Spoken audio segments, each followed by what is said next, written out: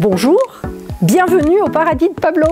Je suis Françoise Capaza, la présidente de ce centre équestre un peu hors norme, euh, qui est une association, donc euh, loi 1901, qui fonctionne principalement avec des bénévoles.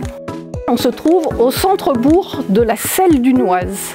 On est donc sur 5 hectares, on gère entre 25 et 30 chevaux le paradis de, Pablo, en fait, alors il existe, lui, on l'a créé avec mon époux il y a 10 ans. On a fêté nos 10 ans en 2023, là, 10 euh, ans d'exploitation et euh, d'accueil de, personnes. Au tout début, c'était euh, voilà, juste les balades poney et les balades en attelage.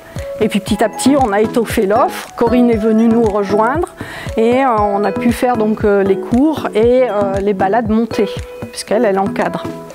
Euh, l'autre spécificité juste sur le paradis de Pablo, c'est qu'effectivement, on, accueille euh, des personnes en situation de handicap.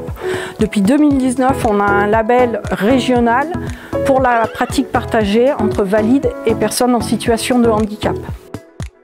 Au paradis de Pablo, on fait des balades poney pour les petits de 3 à 8 ans du parcours ludique pour les petits de 3 à 11 ans. Des chasses au trésor pour les petits de 3 à 8 ans aussi.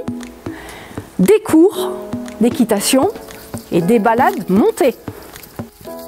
En trois mots, le paradis de Pablo pour moi, c'est la convivialité, l'accueil de tous et venez comme vous êtes.